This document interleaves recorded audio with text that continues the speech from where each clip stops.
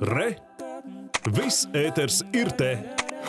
Uzņēmumi pārtrauc simtiem līgumu par darbinieku veselības apdrošināšanu, jo pandēmijas laikā cieši zaudējumus vai pat bankrotē.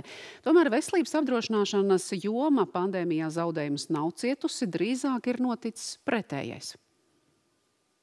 Veselības apdrošināšanas tirgus apjoms Latvijā tuvojas 100 miljoniem eiro, liecina Latvijas apdrošinātāju asociācijas dati. Tikai aptuveni 1% no tā veido privātie veselības apdrošināšanas ņēmēji. Pārējie ir darba devēju apdrošināti darbinieki.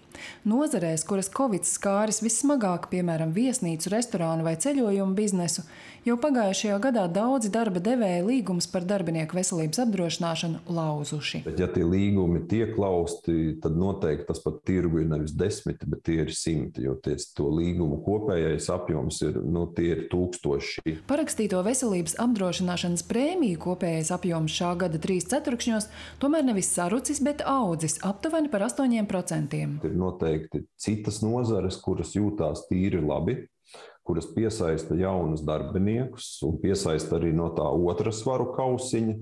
Un līdz ar to, nu, principā es teiktu, ka veidojās tāda diezgan, nu, manā izpratnē, veidojās diezgan laba, laba līdzsvara situācija. Ir uzņēmumi, kuri ir spiesti laust līgumus, Jo viņi vienkārši ir tādā, tādā nozarē, nezinu, restorāni, viesnīcas un tam līdzīgi, kuriem tagad iet ļoti grūti. Un otros svaru kausos savukārt ir eksportējošie, ražojošie IT uzņēmumi, tādi, kuriem iet ļoti labi. Kaut gan plānveida veselības aprūpas pakalpojumi Covid pacientu pieplūduma dēļ ir ierobežoti, arī tas veselības apdrošināšanas biznesu nav ietekmējis negatīvi.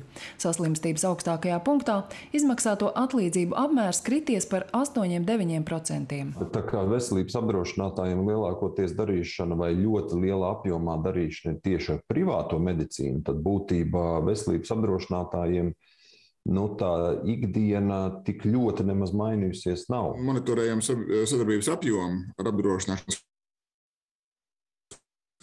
kompānijām, kuras Latvijas tirgu ir, ir vairākas. Mēs strādājam ar visām no viņām.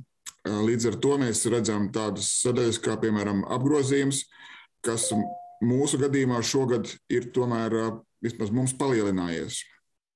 Šis sadarbības apjoms tādā naudas apgrozījuma kontekstā. Covid dēļ mainījies veselības apdrošināšanas pakalpojumu klāsts. Pievienojušās kompensācijas Covid izslimojušajiem, kā arī ir lielāks pieprasījums pēc rehabilitācijas, atveseļojoties no tā dēvētā garā Covid. Savukārt jau tuvā nākotnē paredzama veselības apdrošināšanas cenu celšanās. Tas saistīts ar medicīnas sadārdzināšanos kopumā. Zana Eniņa, RTV.